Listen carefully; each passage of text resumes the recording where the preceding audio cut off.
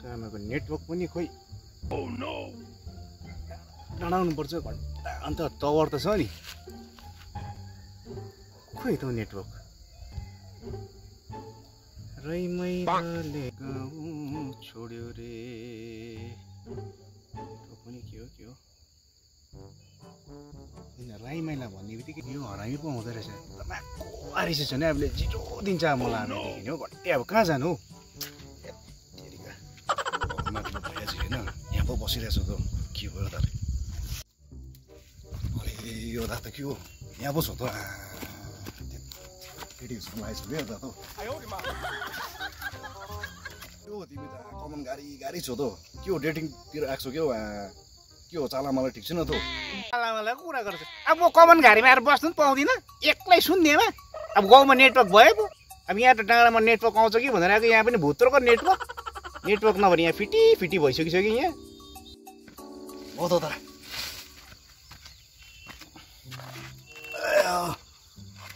अन्त कहाँबाट आइस त चाहिँ त्यही बाटैबाट आएको नि दा म पनि अब त्यसै घुम्दै घुम्दै आएको अब तिमीलाई टक्क देखेँ नि त यहाँ त्यही कारण सोधेको बुझेँ बुझेँ तेरो कुरा बुझेँ नि हनुमानमा रामी रामी केटीहरू थियो कि हनुमानको त्यो त्यो चिक्सिङ आएको नि त बुझेँ नि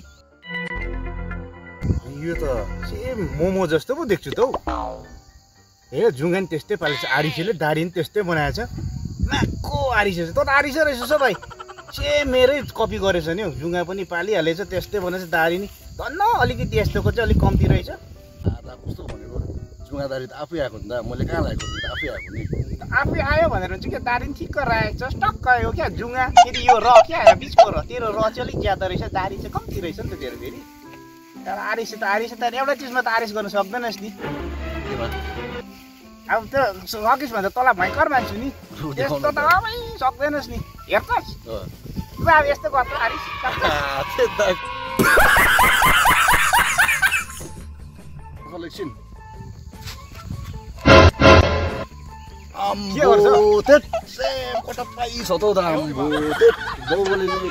कटप्पाले बाहुबलीको क्यु मार अब क्यु मार क्यु मार सेकेन्ड पार्ट हेरिनुहोस् अब राईमाले ग्याउ किन छोडा भने तँलाई सोध्नु। ए, तँ त राईमाला राईमाला जस्तो छस् नि